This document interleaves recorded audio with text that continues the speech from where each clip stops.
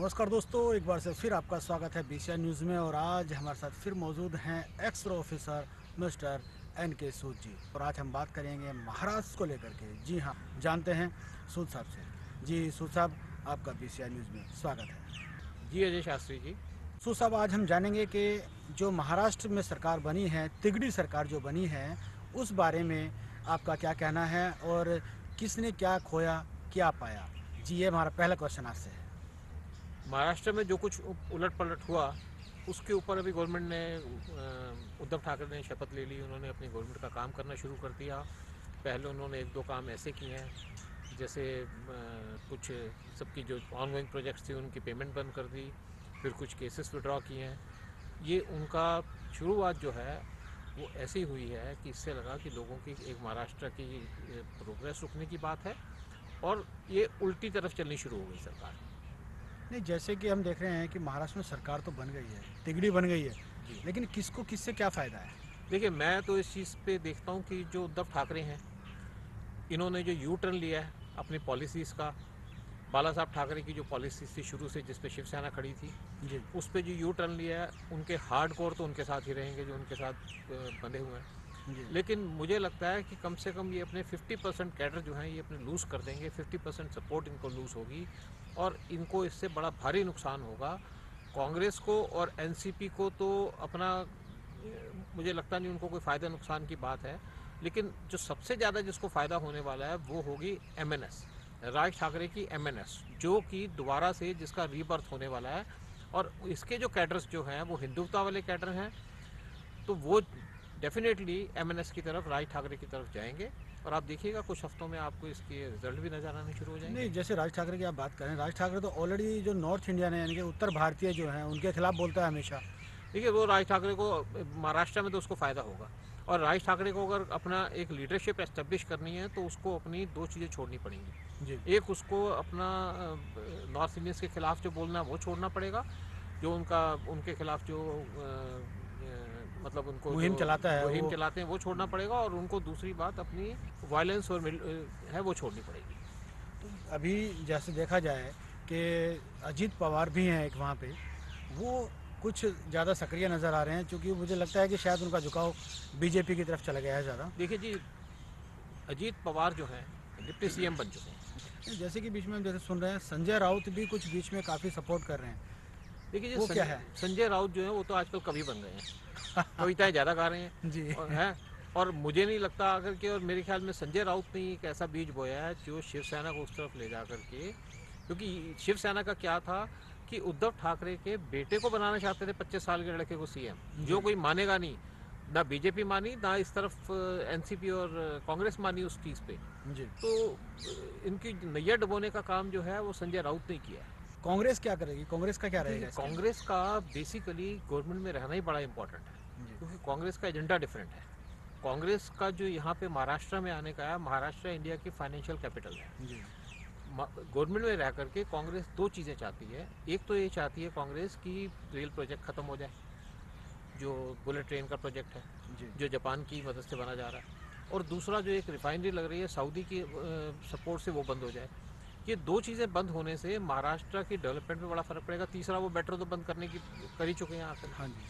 तो जो कांग्रेस का जो एटीट्यूड चल रहा है इस कंट्री में वो नेगेटिव एटीट्यूड है और ये दोनों प्रोजेक्ट जो अगर आके बंद करते हैं उससे इंडिया का रिलेशंस जापान से और सऊदी से बिगड़ जाएगा उनसे भी नहीं बिगड़ेगा।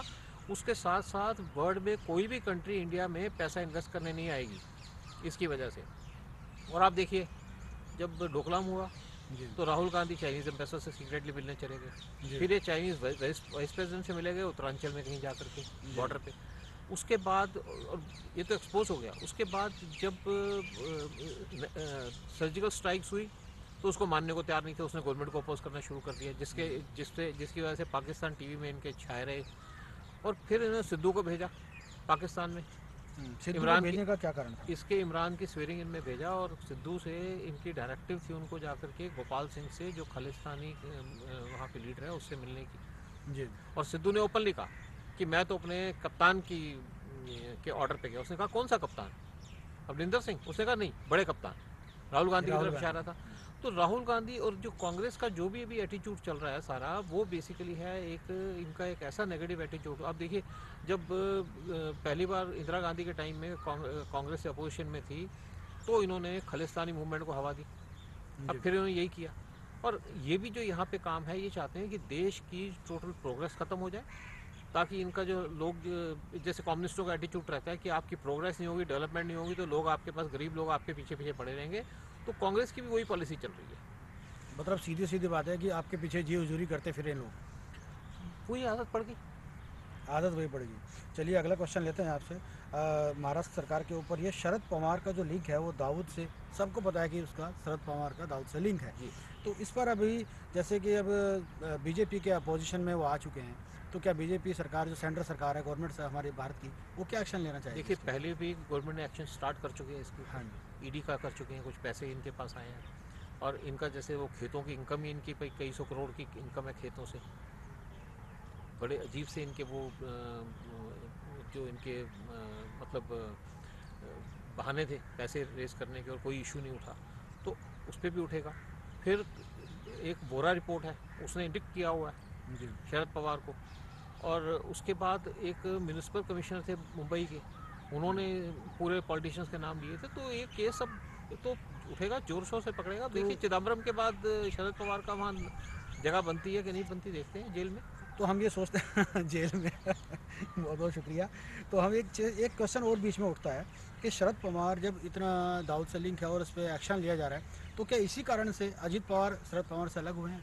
वो इसीलिए सपोर्ट कर देखिए अजीत पवार के इनके आपस के डिफरेंसेस है। मेन देखा जाए तो इनका डिफरेंसेस है कि पाप पार्टी में शरद पवार के बाद कौन?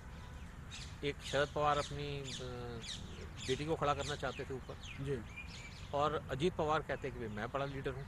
तो इनके डिफरेंसेस तो चल ही रहे थे उसके ऊपर। और दोनों सुना है टॉकिंग टर्म्स में भी थे अभी मैंने फ़ोटो देखी अजीत पवार और सुले की आपस में। तो दोनों बेसिकली खिंचे हुए थे आपस में एक दूसरे से। तो ये डिफरेंसेस एक बार आ गए तो जाएँगे तो नहीं। पर हम अगला क्वेश्चन अब जानेंगे क्योंकि जो जनता जानती है कि हिंदुत्व के नाम पे जो है शिवसेना ने इलेक्शन लड़ा और पूरे नॉर्थ इंडिया में उसको जाना जाता है हिंदुत्व के नाम पे। तो अब क्या लगता है कि पूरे हिंदुस्तान में शिवसेना का वजूद कम हो जाएगा? देखिए वैसे तो महाराष्ट्र के बाहर इनका वजूद बहुत कम था। लेकिन फिर भी इनकी प्रेजेंस थी। इनके ऑफ़िस खुले हुए थे जगह जगह में देख रहा हूँ मैं दिल्ली के अंदर और इवन बाकी जगह में नॉर्थ इंडिया में वो सारे ऑफ़िस बंद हो गए उन पर ताले लग गए हैं। और सेम आप देखिएगा कुछ दिन के बाद महाराष्ट्र में भी काम होना शुरू हो जाएगा। चूँकि लग रहा है अभी कि शिवसेना जो है हिंदुत्व के मुद्दे से भटक देखिए बेसिकली भटक क्या है राम मंदिर को भी अपोज करने लगी। मज़े की बात ये आ गई। जी। वो कहते हैं कि इनकी वो बुद्धि भ्रष्ट हो चुकी है। ये पावर के चक्कर में अब इनका हिंदुत्व खत्म हो चुका है। हिंदुत्व भी खत्म हो जाएगा इनका अपना वजूद भी खत्म हो जाएगा। तो ठाकरे साहब के जो अपना बाला साहब ठाकरे थे उनके एकदम अपोजिट हो देखिए बाला साहब ठाकरे तो हमेशा कहते थे मैं किसी से भी अलायंस कर लूँगा लेकिन कांग्रेस से नहीं करूँगा। कांग्रेस से नहीं करा और उनकी लोगों ने 2500 वीडियोस भी निकाले हैं हाँ लेकिन इन्होंने वही कर दिया। सिर्फ़ ये था कि आप थोड़ा सा वेट भी कर सकते थे। अगर मेरे ख्याल में अपने बेटे के बजाय उद्धव ठाकरे अपने आप को प्रेजेंट करते हैं एज चीफ मिनिस्टर तो शायद तो शायद उनको मान भी लेते बीजेपी सूसा बहुत बहुत शुक्रिया। आपका हमारे दर्शकों से आपने अपनी सारी बातें साझा की। इस तरह की जो ज्ञानवर्धक बातें हैं आगे भी आप लेकर आते रहें और हमारे दर्शकों से रूबरू होते रहें। जी हाँ बहुत बहुत शुक्रिया। थैंक यू शुक्रिया जी। धन्यवाद। जय हिंद।